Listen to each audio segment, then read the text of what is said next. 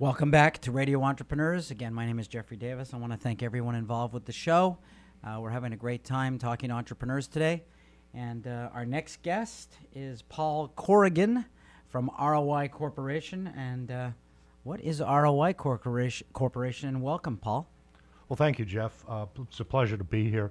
ROI Corporation is a business brokerage firm. We've been in business um, approximately uh, 12 years.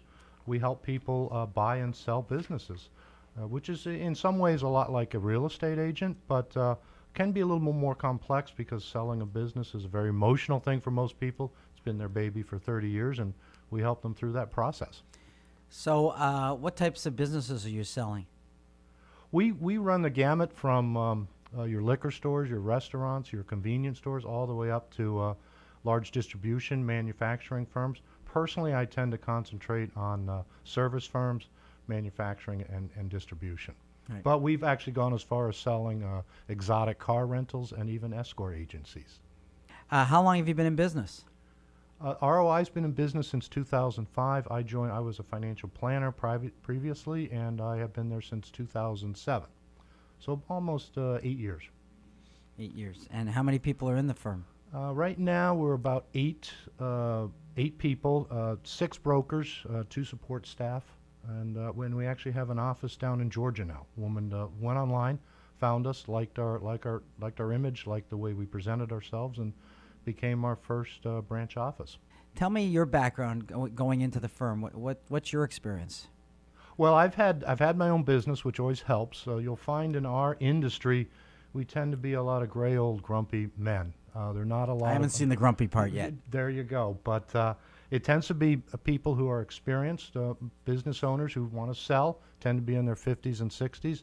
They like to talk to someone who's had some experience, someone who's been there, owned their own business. And I remember walking one day to work and said, if I have to sell my car to meet payroll on Friday, I'll sell my car. And so they appreciate the struggle that it takes to be an entrepreneur.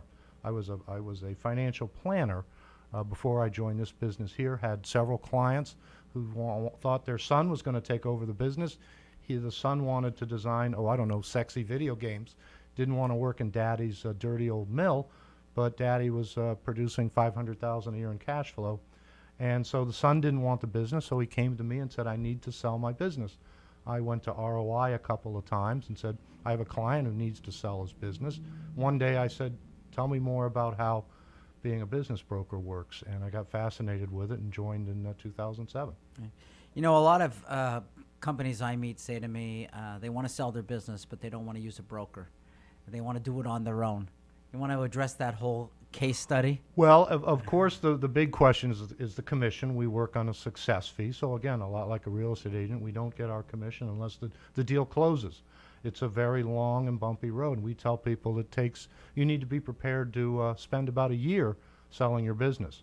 Our job as brokers is to help with the sale of the business while you, as the business owner, keep your eye on the ball, keep the sales up, keep the revenue up. Because if you begin to let sales falter, then the value of the business is going to drop and it can become a downward spiral. So, we uh, do. Are we worth what we get paid in our commission? I think the answer is definitely yes.